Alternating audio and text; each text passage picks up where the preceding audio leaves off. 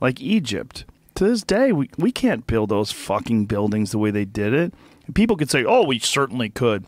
2,500,000 stones that weigh between 2 and 80 tons. If you put 10 of those a day in place, it would take you 600 plus years to make the Great Pyramid of Giza. That's how fucking crazy that building is. So if you say we could build that today, good luck, bitch. Need more faith in the unions, Yeah. Joe. Well, if you're unions off, will get it done. if you're off by literally like a quarter of a centimeter with each block, you're fucked by the time you get to the top. Yeah. Think of that.